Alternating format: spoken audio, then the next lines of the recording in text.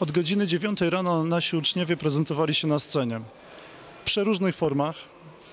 Czasami były to formy bardzo patriotyczne, bardzo dostojne. Czasami były to formy z uśmiechem na twarzy, ale każda jedna z nich przedstawiała ważne dla nas, dla naszego wychowania i dla naszego życia cechy, które powinny charakteryzować każdego Polaka, każdego patriota.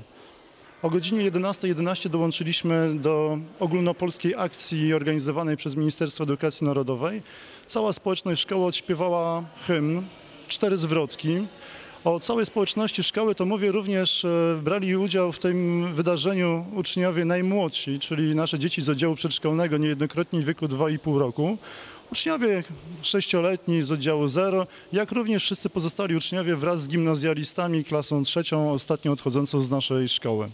Po tym wydarzeniu przeszliśmy do kontynuacji imprezy związanej z impresjami słowno-muzycznymi, a ukoronowaniem całego wydarzenia był jeszcze dodatkowo, była dodatkowo sztafeta niepodległości, gdzie każda klasa wystawiła swoją reprezentację i ruszyli wszyscy do biegu. Mieli do pokonania 500, 500-metrowe okrążenie, po czym zmiana, kolejna osoba z klasy, przy czym dla uczczenia niepodległości naszego kraju, setnej rocznicy, każdy z uczniów biegł z polską flagą biało-czerwoną, co z pewnością zostanie im w pamięci na długie lata. Podsumowując całą imprezę mogę powiedzieć, że to nie był klasyczny apel, akademia. Nie, to był festiwal, w którym 370 uczniów szkoły brało udział i w którym każdy z nich coś mógł zaprezentować. Jedni wystąpili na scenie, często były to całe klasy, inni pełnili honorową wartę przy sztandarze szkoły, a inni aktywnie włączyli się, biorąc udział w biegu niepodległości.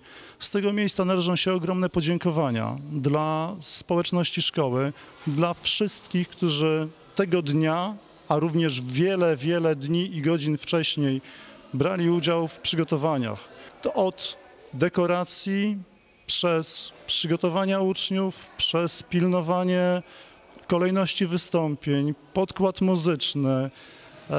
Pracy było mnóstwo i wiem, że każdy w szkole miał się czym zająć i mógł ucze- współuczestniczyć w tym wydarzeniu.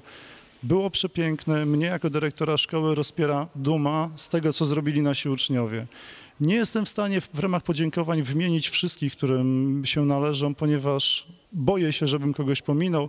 Natomiast chciałbym z tego miejsca również podziękować gminie Wieliszew, która umożliwiła nam wykorzystanie profesjonalnej sceny, dzięki czemu uroczystość szkolna nabrała rangi dużo, dużo wyższej, a uczniowie, którzy brali w nim udział, czuli się jak prawdziwi aktorzy na prawdziwej scenie.